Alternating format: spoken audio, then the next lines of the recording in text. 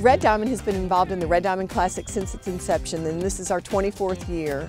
We got involved to begin with because our president and CEO, Bill Bowron, loves soccer and believes in the value of team sports. He actually coached competitive soccer for 15 or 20 years, so he knows the importance of it. And when we had the opportunity to partner with BUSA and put on an elite level soccer tournament in Birmingham, we jumped at the opportunity.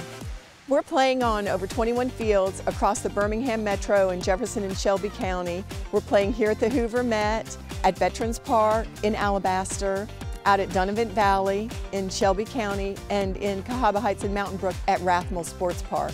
It's pretty crazy how small it started um, and now to see where it's grown, where you're bringing teams from anywhere from you know 12 to 14 states in a given year, in a given cycle, and just the the growth and the sort of the development of the event has been pretty crazy to see over the course of uh, you know the last 20 plus years. This is my second year with Alabama FC, uh, so my second year being part of the Red Diamond Classic. Um, and as somebody who's been around tournaments, not only in the Southeast, but all over the country, the organization, the quality of the facilities we're able to provide, full-time trainers on every site to make sure that the health and well-being of our players are looked after is just fantastic. We're at the Red Diamond Classic. Uh, we're parents of players out here, and we love the Red Diamond Classic because it brings the community together and it has such a great impact on the local economy. My favorite part of the tournament is being able to play all sorts of different competition.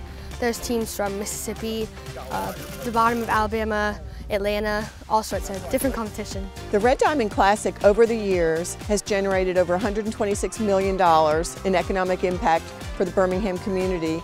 And the way we do that is every year we play soccer here over the first two weekends in March. And it's thousands of players and families and coaches who are coming to Birmingham. They stay in our area hotels, they eat in our restaurants, they shop in our grocery stores and C-stores and other stores, and all of that combined brings in over $6 million every year to the Birmingham Metro. When you're out in the community, look for our beautiful blue uh, Sprinter van, the Red Diamond Sweet Ride. You can get coffee and tea. It's always complimentary, and we try to be all over the community at different fabulous events like the Red Diamond Classic this weekend. Red Diamond, expect perfection. Red Diamond is our, is our largest title sponsor over the Alabama's largest soccer tournament, right? So we're talking about 400 teams across the entire region, Mississippi, Georgia, Florida, Tennessee, right? This tournament could not be made possible without the support of Red Diamond. Red Diamond is a tremendous community sponsor and we always have been.